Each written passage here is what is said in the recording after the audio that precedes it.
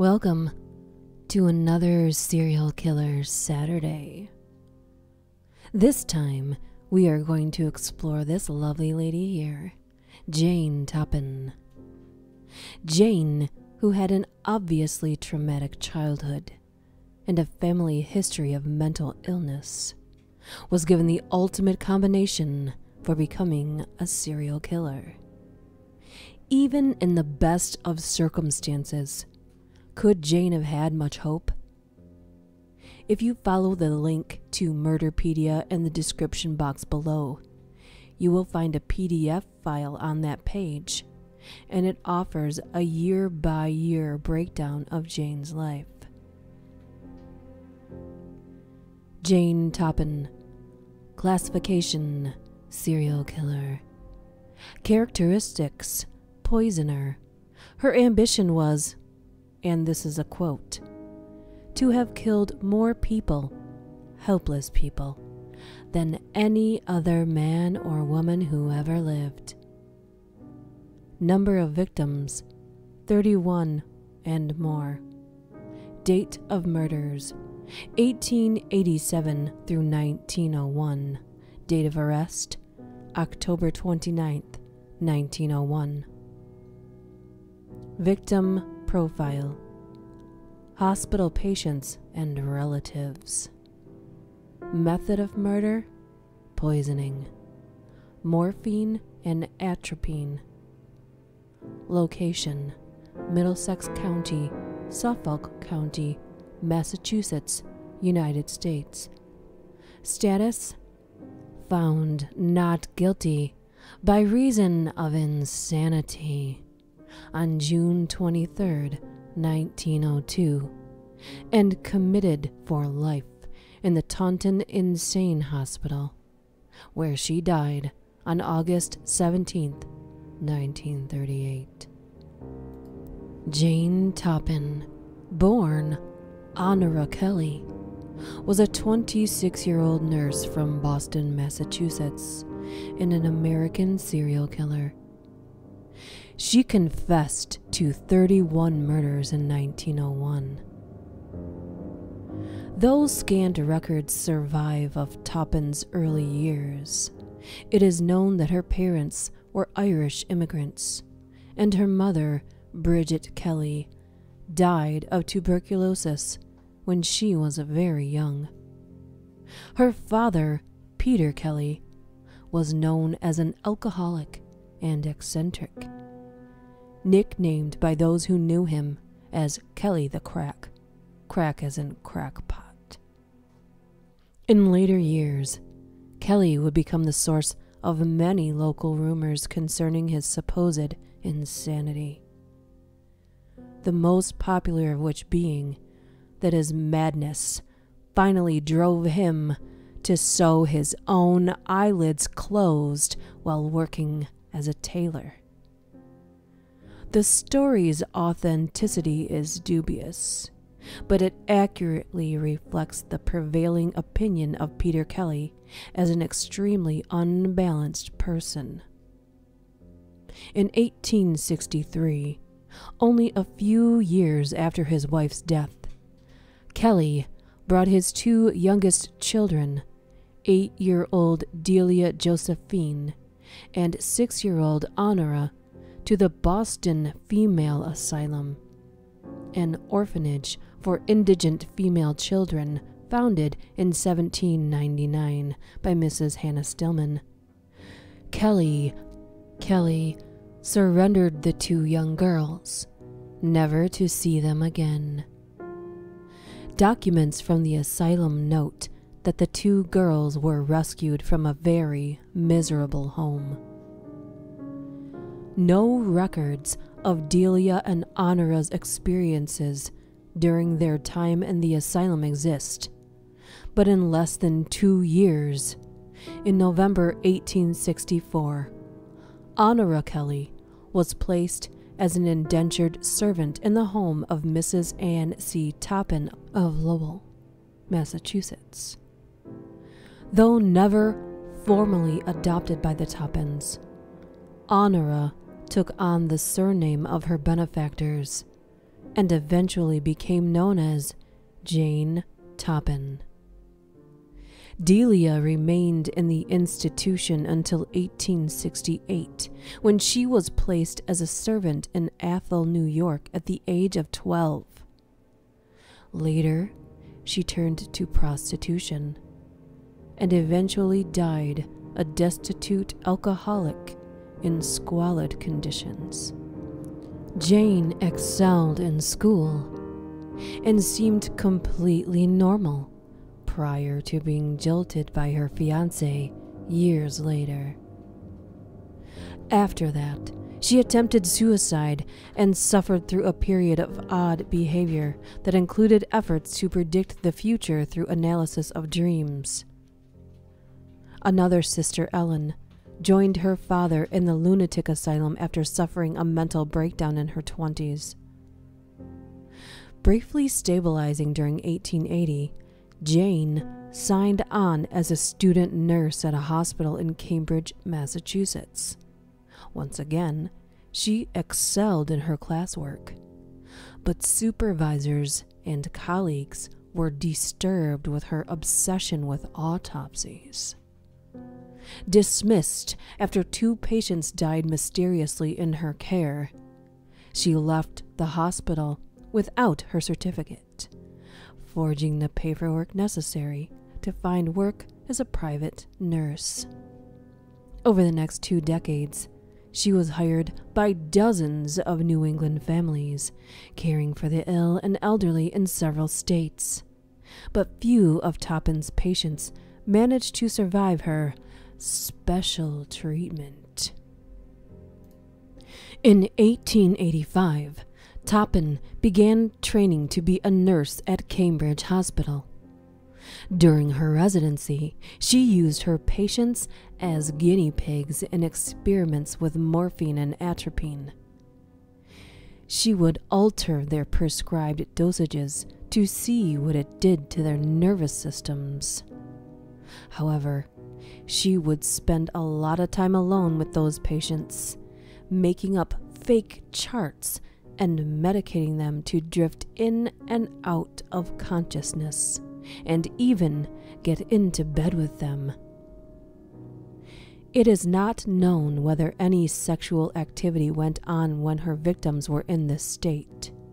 But when Jane Toppan was asked after her arrest, she answered that she derived a sexual thrill from patients being near death coming back to life, and then dying again. Toppan would administer a drug mixture to these patients she chose as her victims, lie in bed with them, and hold them close to her as they died. This is quite rare for female serial killers, who usually murder for material gain and not sexual satisfaction. She was recommended for the prestigious Massachusetts General Hospital in 1889. There she claimed several more victims before being fired the following year.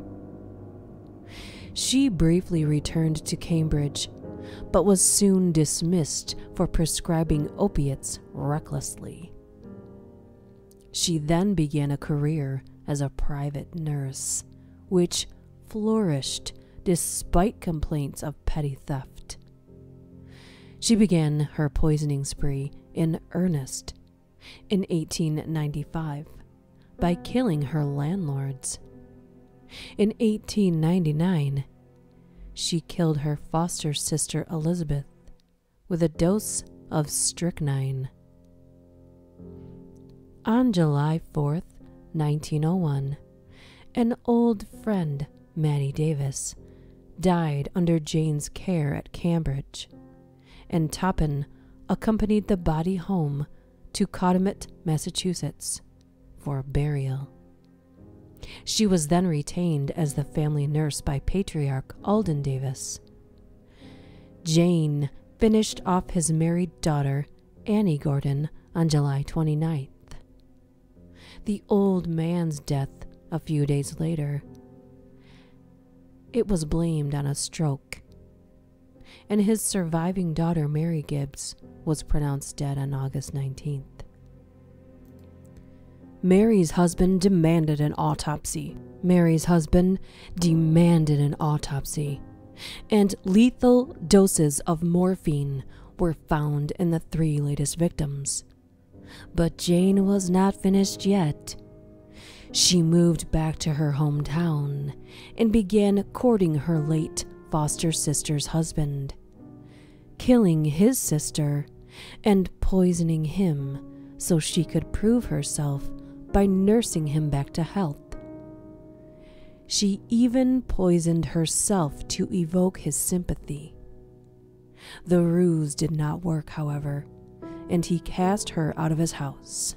The surviving members of the Davis family ordered a toxicology exam on Alden Davis's youngest daughter. The report found that she had been poisoned, and local authorities put a police detail on Toppan. On October 26, 1901, she was arrested for murder. By 1902, she had confessed to 31 murders. In custody, Toppan confessed to 31 murders, naming her victims. But students believe her final tally falls somewhere between 70 and 100 victims. No accurate list of her hospital victims was ever compiled, and various New England families avoided this scandal by refusing official requests for exhumations and autopsies. At trial, Jane's lawyer grudgingly conceded 11 murders, staking his hopes on a plea of insanity. Toppan cinched the case with her own testimony, telling the court, That is my ambition, to have killed more people, more helpless people, than any man or woman who has ever lived. On June 23rd, in the Barnstable County Courthouse, she was found not guilty by reason of insanity and committed for life in the Taunton Insane Hospital. Soon after the trial, one of William Randolph Hearst's newspapers, the New York Journal, printed what was purported to be Toppan's confession to her lawyer that she had killed more than 31 people, and that she wanted the jury to find her insane so she could eventually have a chance at being released. Whether or not that was truly Toppan's intention is unknown. She remained at Taunton for the rest of her life, where she died in August in 1838 at age 84. She was remembered by her keepers as a quiet old lady but older attendants remembered her smile as she beckoned them into a room. Go get some morphine, dearie, she would say, and we'll go out in the ward. You and I will have a lot of fun seeing them die. Toppan is widely believed to have been the inspiration for the incomparable Bessie Denker, a character in William March's novel The Bad Seed, which Maxwell Anderson turned into a successful play and film. Like Toppan, Denker was a serial poisoner who began killing at a young age. In the independent film American Nightmare, written and directed by Jon Keeyes, Debbie Rochon portrays a serial killer named Jane Toppan, who manages to kill numerous characters throughout the course of the film by various means. The character is also employed as a nurse. Toppin was the subject of one of six monologues in the play Murderess by Anne Bertram. She was portrayed by Laura Webers in the segment The Truth About Miss Toppan. The play opened to favorable reviews. A critic, William Randall Beard, called the Toppan segment a chilling portrait of a sociopath nurse. If you have any suggestions for a serial killer you would like to see profiled here, send me a message on any of the social media platforms I have in the description box, or you can leave a comment here. See you next time.